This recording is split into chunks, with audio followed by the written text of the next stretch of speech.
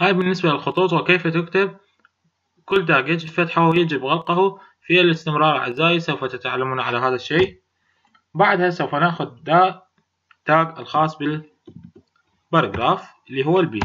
لو كان عندنا paragraph فسوف تكون نلاحظ إنه ال paragraph نكتب هنا مقالات. عفوا. ناخذ أي مقالة موجودة على النت.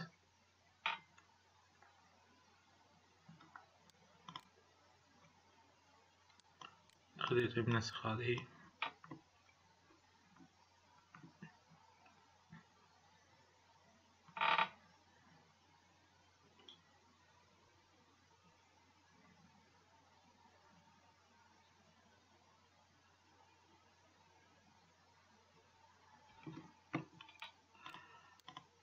ننتظر قليلا.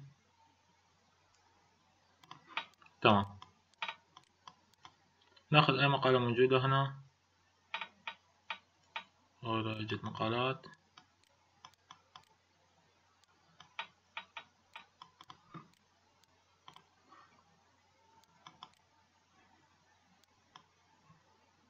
هذه قد تكون.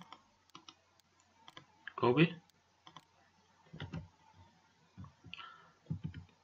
سوف تكون داخل tag ال paragraph طبعا محرر Sublime لا يدعم اللغة العربية.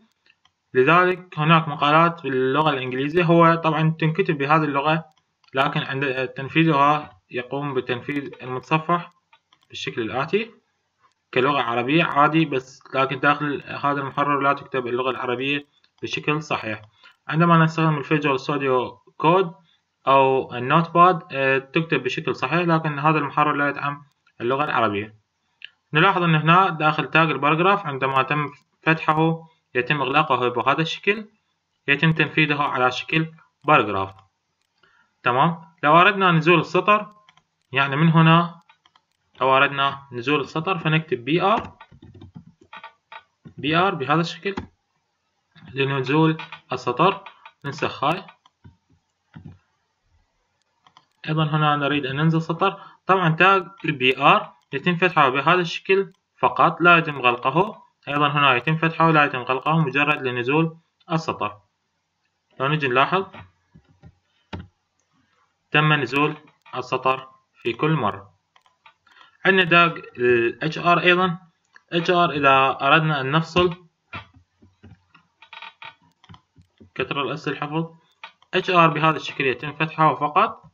هذا لوضع خط فاصل بين الباراجراف أو بين الخطوط المكتوبة.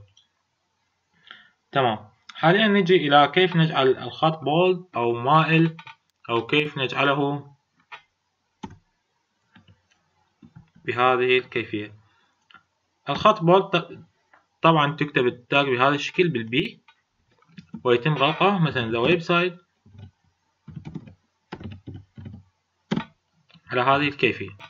ال tag B لاحظ أن الخط أصبح bold لو أخليه بين H1 ممكن أنا أنا أخلي tag داخل tag هذا ال H1 أيضا أتم غلقه في هذه الكيفية هنا.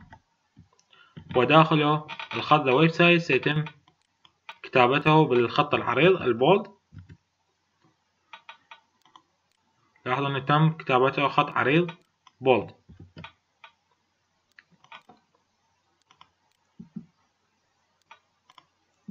تمام؟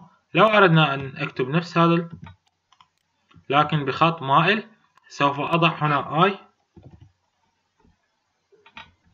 وهنا أيضا I. هذا التاج ذاك تاج الآي اللي هو سوف يجعل الخطوط مائلة. لاحظ أن الخط أصبح مائل يختلف عن هذا الخط. الأندرلاين كيف نعملها؟ إنه نفس هذا ال tag سوف نجعله underline tag ال underline يكتب بهذا الشكل. U أيضا يتم غلقه بهذا الشكل U طبعا أنا مخلي الكلام كله داخل H1 حتى يظهر بشكل كبير. وداخله tag ال U ال underline لو نجي؟ نرفرش. نلاحظ أنه تم وضع خط أسفل هذه العبارة. هذه بالنسبة للخطوط.